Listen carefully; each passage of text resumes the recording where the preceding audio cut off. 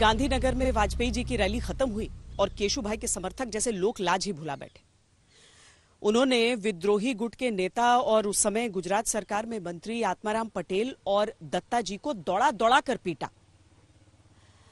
वाजपेयी जी का जो शुक्रिया समारोह था, वो अराजकता का एल्बम बनकर रह गया। उस समय तक गुजरात में भाजपा के बीच अंतर विरोध इतना बढ़ गया था कि केशु भाई धड़ा, खुद नरेंद्र मोदी के समर्थकों का एक धड़ा और बाघेला, शंकर सिंह बाघेला के लोग। वो गांधीनगर बहुत ही तैयारी के साथ गुजरात में सभा बुलाई गई थी, वो अपनी बात कहना चाहते थे। लेकिन यही अंतर विरोध था कि भाजपा कार्यकर्ताओं में आपस में जंग की नौबत दिखाई पड़ी। और ये बड़ा दुर्भाग्यपूर्ण पहलू है। तमाशा यही नहीं रुका। दोनों गुटों में लड़ाई के बाद मुख्यमंत्री सुरेश मेहता ने वाघेला गुट को कटघरे में खड़ा कर दिया। शंकर सिंह वाघेला इतने नाराज़ हुए कि विद्रोह कर दिया। वाघेला के साथ उस समय आंकड़े बहुत ज़्यादा नहीं थे, लेकिन उनके खेमे में 28 विधायक थे। सुरेश मेहता को भरोसा था कि उनके पास बहुमत है और वाघेला को भरोसा था कि वो सुरेश मेहता की सरकार गिरा सकते हैं। शंकर सिंह वाघेला के साथ कांग्रेस भी खड़ी थी। उस वक्त केंद्र में देवेगौड़ा की सरकार थी। गुजरात से राज्यपाल की चिट्ठी गई, जिसमें लिखा था कि गुजरात की स्थिति बुरी है, विधायकों की खरीद बिक्री हो सकती है, इसीलिए राष्ट्रपति शासन पर विचार करें। 19 सितंबर उन्नीस सौ छियानवे को सुरेश मेहता ये सोचकर बैठे थे कि विधानसभा में आज बहुमत साबित कर देंगे। लेकिन जब कार्यवाही की शुरुआत हुई तो विधानसभा विधानसभा नहीं रहा। जंग का मैदान बन गया। जब किसी तरह हालात सामान्य हुए, तब वोटिंग हुई।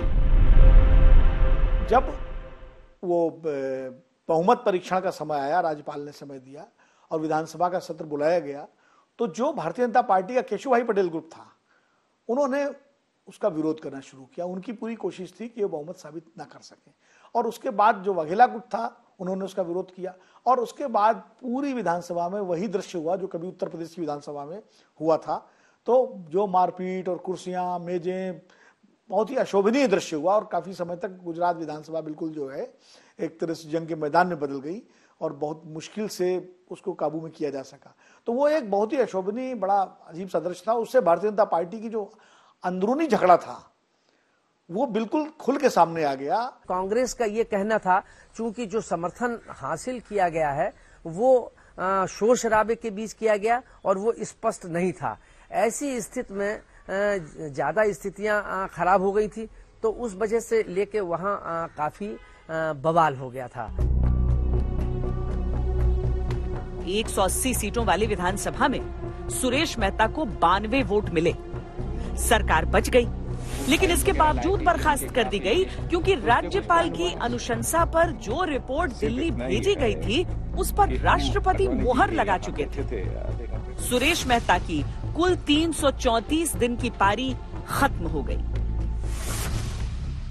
गुजरात में जोड़ तोड़ की राजनीति शुरू हो गई। 18 विधायकों का वो गुट जो चंद महीनों पहले शंकर सिंह वाघेला से अलग हो गया था वो एक बार फिर उनके साथ आकर जुड़ गया। और शंकर सिंह वाघेला ने छियालीस विधायकों के साथ अपनी अलग पार्टी बना ली, राष्ट्रीय जनता पक्ष। इसके साथ उन्हें 45 कांग्रेस विधायकों का समर्थन भी मिल गया। क्योंकि उस समय जो गुजरात विधानसभा की संख्या 180 थी, इसीलिए इक्यानवे विधायकों का जो आंकड़ा था, वो बहुमत की उस शर्त पर खरा उतरता था। लिहाजा राज्यपाल ने उन्हें सरकार बनाने के लिए हरी झंडी दे दी। 23 अक्टूबर उन्नीस सौ छियानवे के दिन शंकर सिंह वाघेला ने गुजरात के बारहवें मुख्यमंत्री के तौर पर शपथ ली। लगभग एक साल बाद, एक अक्टूबर उन्नीस सौ सत्तानवे को गांधी जयंती से ठीक एक दिन पहले शंकर सिंह वाघेला ने ऐलान कर दिया कि गांधी जयंती के दिन पाँच नए ज़िले और 48 नई तहसील गुजरात के नक्शे पर होंगे। जो तो गुजरात का आदिवासी बेल्ट है, वो अभी भी, आज तक मैं कहूँगा कि वो उस उस पर कांग्रेस की पकड़ मज़बूत है। और आज भी गुजरात के आदिवासी कांग्रेस को सिर्फ़ कांग्रेस के नाम से नहीं वो इंदिरा कांग्रेस के नाम से जानते हैं। शंकर सिंह वाघेला ने जब भाजपा के साथ घात किया और खुद मुख्यमंत्री बन बैठे अ, उसके बाद उन, उनको उनके पास मालूम था कि वक्त बहुत कम है और ऐसे कुछ काम करने हैं जिससे वो लोकप्रिय हो जाए और जो कांग्रेस की वोट बैंक है उसको भी उनको तोड़नी थी। इसलिए उन्होंने पाँच नए ज़िले का गठन किया जिसमें ये आदिवासी बेल्ट आए थे।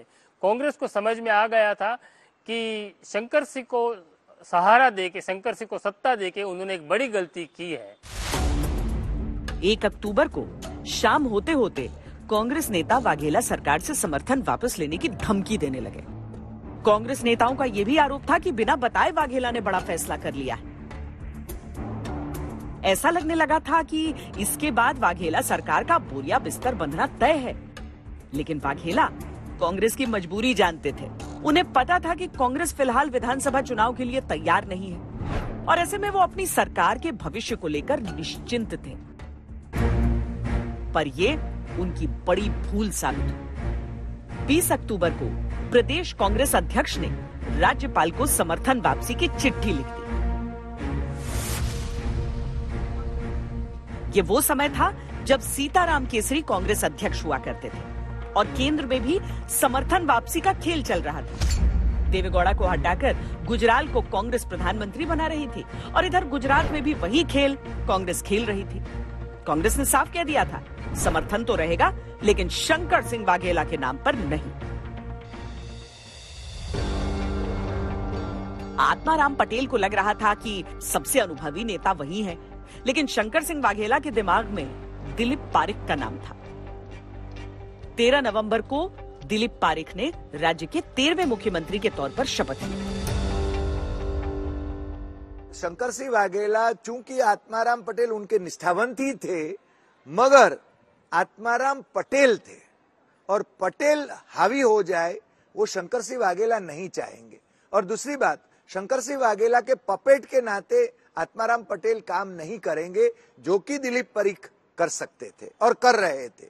इसलिए उनको ये था कि आत्माराम पटेल यदि मज़बूत हो गए और आत्माराम पटेल की पैठ भी थी, अनुभवी थे, इसलिए और पटेल समर्थन जन समर्थन भी उनके प्रति आता तो वो शायद उनको हटा नहीं पाते, इसलिए उन्होंने दिलीप परीख को स्वीकार किया।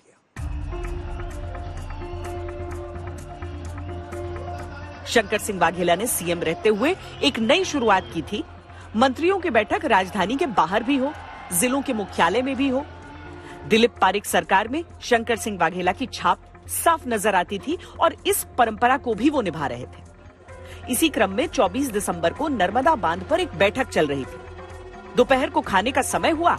मंत्रियों को बिना कोई जानकारी दिए शंकर सिंह वाघेला और दिलीप पारिक राजधानी की ओर निकल गए। शाम को दोनों राज्यपाल से मिले। अपना इस्तीफा सौंप दिया और विधानसभा भंग करने की सिफारिश कर दी। इस बात की जानकारी न विधायकों को थी, न मंत्रियों को और न ही बाहर से समर्थन दे रहे कांग्रेस के नेताओं को।